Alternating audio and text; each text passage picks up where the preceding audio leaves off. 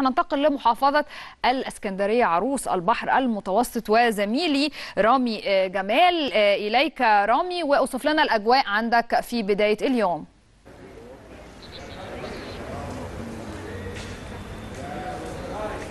صباح الخير زميلتي مها وصباح الخير على كل السادة المشاهدين.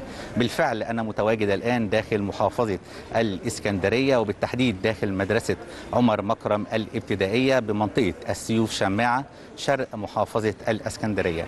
منذ دقائق تم فتح اللجان الانتخابية أمام الناخبين في تمام الساعة التاسعة صباحاً. بالنسبة للكتلة التصويتية في محافظة الأسكندرية فهي تبلغ 4 مليون و 167 ألف و 901 ناخب انتخابي. آه بيتنافس أيضا في محافظة الأسكندرية 215 مرشح ومرشحة على 16 مقعد فردي بالإضافة إلى قائمتين.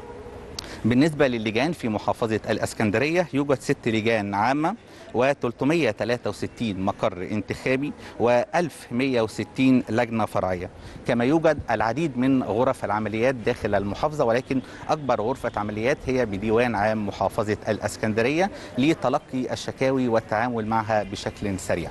أيضا بالنسبة للإجراءات الأمنية في محافظة الأسكندرية شاهدنا العديد من عربات الشرطة تجوف في شوارع المدينة لتأمين العملية الانتخابية بالإضافة إلى التمركزات الأمنية الثابتة والمتحركة على مدار اليوم. هذا كل ما لدي زميلتي مها وعودة إليك في الأستوديو. شكرا جزيلا من محافظة الإسكندرية. كان معنا زميلي رامي جمال من أمام إحدى اللجان